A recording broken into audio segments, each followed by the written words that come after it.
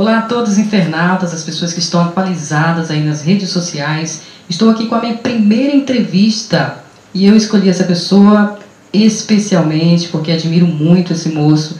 O moço é inteligente, é espontâneo, tudo que ele faz, ele faz com uma qualidade imensurável. Falando de Valmir Sodré, que vem candidato a conselheiro tutelar de Pichuna do Pará, se apresentando aí com o número 27.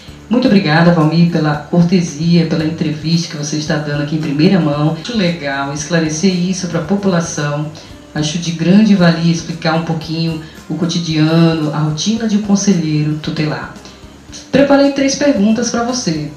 Acredito que você vai se sair muito bem e acho legal esclarecermos de, da maneira mais natural possível, que as pessoas que estão aí escolhendo seus candidatos, com certeza estão avaliando com muito cuidado, né? Porque toda candidatura é desse jeito. As pessoas estão mais atentas, mais é, observam mais a pessoa, seu candidato, ao qual se interessa para votar. Então, vamos primeira pergunta.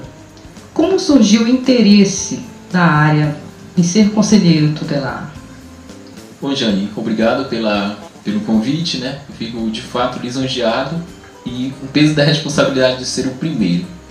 É, surgiu o interesse justamente do contato que eu já tinha feito antes com os conselheiros tutelares que hoje atuam em Pichuna e vendo a importância da defesa do direito da criança e do adolescente, uma área na qual ainda se tem muito tabu em cima do trabalho real do conselheiro tutelar. Se imagina muitas coisas. Tá? E em outro momento, é, diante de situações que aconteceram, seja com a minha família ou com outras situações que eu acompanho, despertou em mim o interesse de estar mostrando que a gente pode ajudar ainda mais diante dessas situações onde crianças e adolescentes estão indefesas, estão aptas a receberem situações que não são dignas de uma pessoa humana, muito menos de uma criança ou um adolescente. Muito bem. Então, segunda pergunta, Valmir. Quais os objetivos que você tem como conselheiro tutelar? O objetivo maior, eu acredito que dentro dessa campanha que eu coloco e acima de tudo, depois de eleito, que com a graça de Deus e com a ajuda de você aí de casa eu vou conseguir chegar lá, é mostrar que o jovem, ele pode fazer a diferença.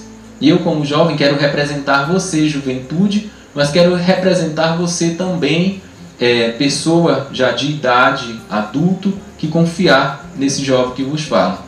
Em outro momento, Jane, claro, de fundamental importância, o objetivo principal é defender os direitos das crianças e dos adolescentes. Eu me sinto preparado para isso. Se você confia, pode depositar esta confiança em mim, que eu vou fazer o máximo, eu vou fazer o possível para não desapontar você. Muito bem, eu falei que o moço é inteligente. Terceira e última pergunta. Qual a importância da população ipixunense eleger um conselheiro tutelar? Nem em todo canto as pessoas, ainda que a lei diga que todos nós somos responsáveis pela defesa da criança e do adolescente, nem sempre a pessoa pode estar a par daquela defesa. Às vezes ela se sente, ah, aqui eu não vou me colocar, mas tendo esse conselheiro, tendo aquela pessoa que vai representar, ligue, denuncie, que o conselheiro vai lá em cima. Existe uma importância muito grande, Jane, da pessoa ir votar. Porque como uma eleição para conselheiro tutelar não traz, não acarreta em cima do título nenhuma, nenhum cancelamento ou nenhuma multa caso a pessoa não compareça na eleição, muitas pessoas se acomodam, ficam em casa. Então eu quero conversar, eu quero chamar a sua atenção. A você que nunca votou para conselho tutelar, a você que está dando seu primeiro voto este ano, completou 16 anos, já tem 17, mas tirou o seu título. Eu preciso da ajuda de vocês. Confie neste jovem, nós temos outros nomes bons também, candidatos a conselho tutelar. Se não for para mim, avalie direitinho. Nós demos uma estudada boa nos nossos candidatos. Avalie também a minha vida e com certeza você vai confiar. Eu preciso do voto de você. Por isso, levante da sua cama no dia 6, coloque essa conscientização que juntos nós podemos defender os interesses e os direitos das crianças e dos adolescentes. Muito bem.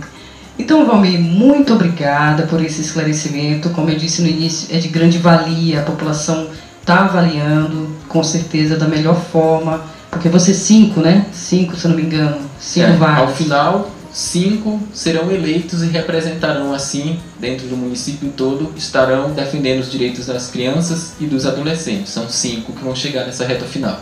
Perfeito.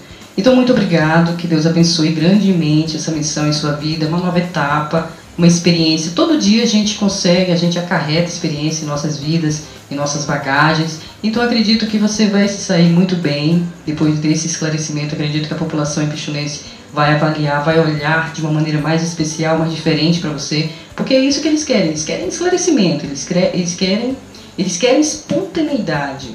Eles querem que o candidato vá, fale realmente o que interessa, o que, que ele quer, o que, que ele quer fazer.